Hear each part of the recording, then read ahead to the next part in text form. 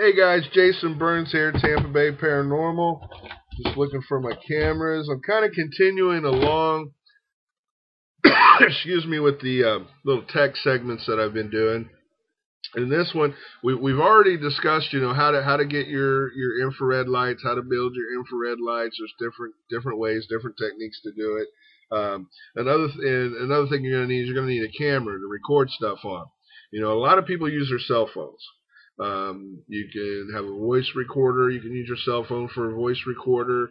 Um, for you can also use it for infrared camera, and I'm going to tell you how. This is my daughter's old little slider phone. It has a little keyboard that slides out.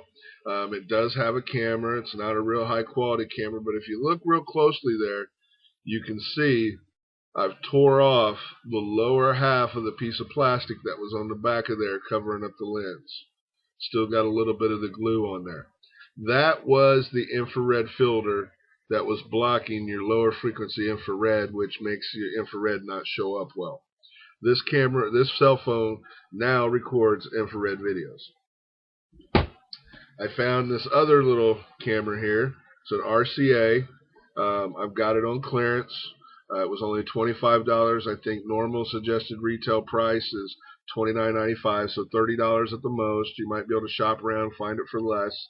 Um, this camera I had to do a modification on as well. Um, the front cover comes off. There's four little screws that hold the front of the, the camera together. Um, once you get those apart, you're able to lift up on the side of the case. One side has battery connections, the other side doesn't, so be real careful about which side you lift up. Um, I believe it's the side with the power switch and the USB connection on it. Uh, I could be wrong though. You just have to, to open it up and find out for yourself. Be real careful.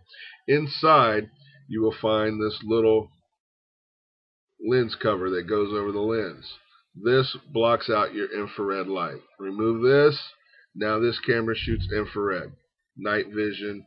Very well. You need a light with it. It does have a, a, um, a tripod screw hole on the bottom. So you can mount a light underneath it. Um, so there you go. Free, an old cell phone, modified. $25, a little camera modified. $40, camera that actually is made for night vision. You can get this digital camcorder at Toys R Us. Um, it's nothing fancy. You know, they make Toys R Us makes all kinds of little cool gizmos for kids, little spy hunt and stuff. This one, as you can see, already has the eight LEDs in the front of it. So it already, you know, there's no modification needed.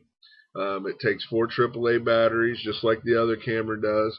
Takes an SD card, does support a 16 gig.